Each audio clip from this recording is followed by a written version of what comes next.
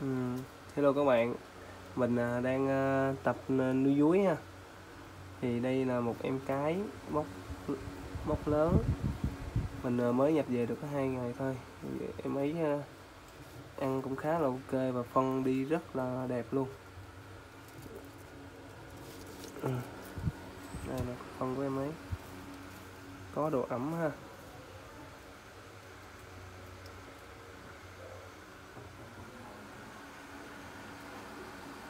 Đây là phân của máy.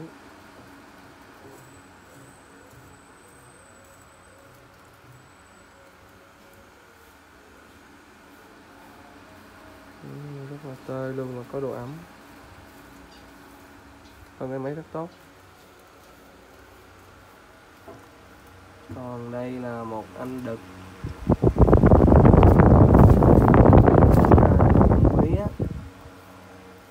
Sáng mình mới dọn chuồng hiện tại à, chưa có cục phân nào chưa biết được. Đây cũng là một anh đực. À, đây anh có ý ra một cục. Hơi khô một chút.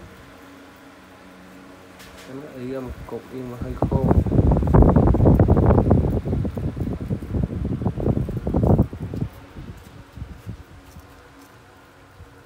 Anh này đến ăn say mê từ nãy tới giờ luôn.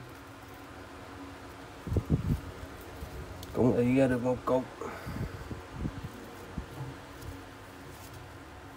Ok phân rất là tốt, có độ ẩm.